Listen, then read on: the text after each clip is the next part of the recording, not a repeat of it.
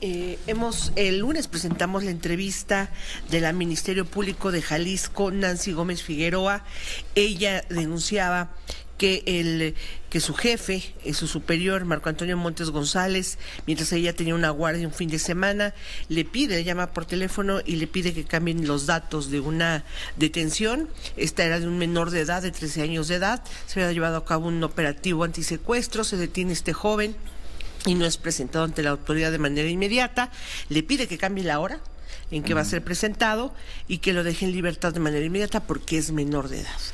Ella se niega a hacer esta situación, le dice que eso no tiene que ser así, que eso es ilegal eh, y que tendría que ser judicializado el asunto. Ahí quedó el asunto. Ella lo denuncia ante, de manera interna en, la fiscalía porque empieza a recibir una serie, de, este, digamos, actitudes que tienen que ver con acoso laboral y sobre todo porque ella se niega a hacer esta cuestión irregular. Ella denuncia, pero termina siendo investigada. Ciro, también se le levanta un acta, una carpeta de investigación por revelar datos confidenciales de una carpeta de investigación y pues ella se presentó ya a trabajar y la entrevistamos el lunes tiene una guardia, se presentó el día de ayer, es una guardia de 24 horas, y hace como una hora, poquito menos de una hora, ya salió de esta guardia. Nancy, buenos y está en la línea Nancy, Nancy Gómez Figueroa. ¿Cómo ha sido el este trabajo después de la de la denuncia pública? Nancy, han cambiado las cosas, siguen como la última vez que hablamos, el que fue el lunes. El lunes. El lunes cambió algo. Buen día. Gracias, buenos días.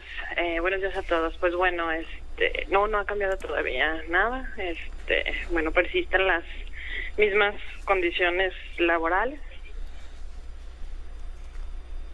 Y pues básicamente estamos en las mismas condiciones. Nancy, ¿qué pasó con la con las denuncias que tú hiciste? ¿Te han notificado de algún tipo de avance? Eh, ¿Están citando a declarar alguna de las partes? ¿En qué va? Porque ya estamos hablando de por lo menos tres semanas. Bueno, eh, tengo entendido ya por parte de Derechos Humanos, la Comisión Estatal de, aquí del Estado de Jalisco, ya dictaron medidas cautelares a favor de mi persona, ya fueron notificadas al señor fiscal.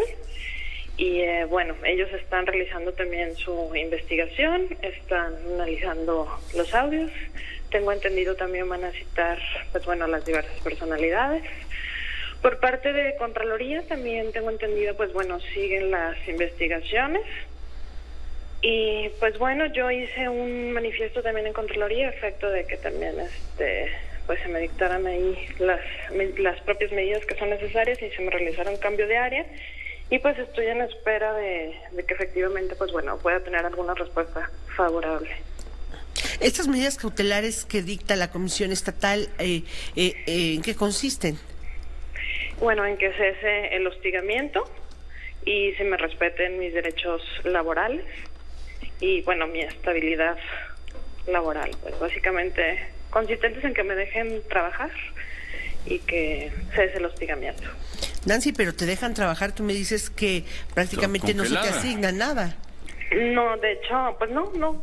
Él digo las mismas condiciones que lo manifesté en la, la primera entrevista que se me dio la oportunidad Estoy, pero bueno, no se me permite hacer nada. Eh, el día de ayer, los servicios, el servicio que hubo, pues bueno, este, están siendo recibidos por el personal del del maestro Marco, porque pues obviamente él en horarios ya muy nocturnos no, no se presenta a la oficina, puede ser recibido por otras personas los servicios, pero yo no puedo, yo no puedo ejercer mi función. Bueno, bueno pues seguimos atentos, seguimos atentos, Nancy al, al caso. Nancy, me comentabas nada más ya para finalizar que mm, sigue el acoso, pero además eh, a través de mensajes hay una cuestión laboral que se está generando en, las oficinas también. Sí, bueno, eh, considero se inició una campaña de desprestigio. Eh, obviamente, me imagino, en virtud de, de, la, de las acciones que yo realicé, la denuncia, empezó a realizarse una campaña de desprestigio de manera interna, de manera interna por parte de funcionarios en, puestos importantes, pues en este caso, pues considero muy penoso, es algo penoso porque bueno, son servidores públicos y lo hacen público en sus redes sociales.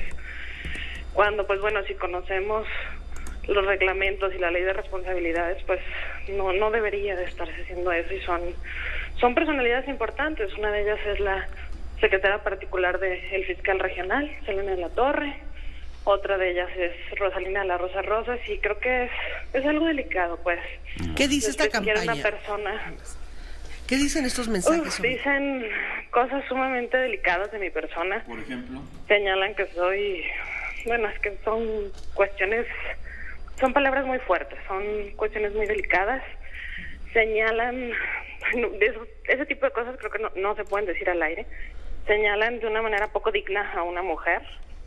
Señalan que soy una persona poco digna para la institución al yo alzar la voz pero señalan cosas, obviamente la entonación, pues, de faltas de respeto graves, mm, ese tipo de cuestiones, pues, y lo hacen ver en redes sociales y, obviamente, pues, ese tipo de personalidades, pues, es, lo que manifiesta, es una campaña de, de desprestigio, pues, por haber hecho estas acciones. Bueno. Pues sí, le agradecemos de nueva cuenta, Nancy. Gracias. Gracias, a ustedes por el espacio. Nancy Gómez Figueroa, Ministerio Público en Jalisco. Dura la situación que ella tiene. Me dijo anoche, ayer, me voy a presentar con toda la dignidad y la disposición de, de ponerme a trabajar. Platicamos durante la noche, me dice, no tengo ningún servicio, sé que ya hubo uno, estoy aquí, soy el MP a cargo y no se me permite trabajar. Y hay una cuestión de hostigamiento y esta campaña de desprestigio interna que obviamente tienen que ver con mensajes que eh, determina que ella no tiene la capacidad para estar como Ministerio Público y que consiguió por otras, eh, eh, digamos, favores el puesto que ella tiene, ¿no? Siempre descalificando en, en esa parte a la mujer.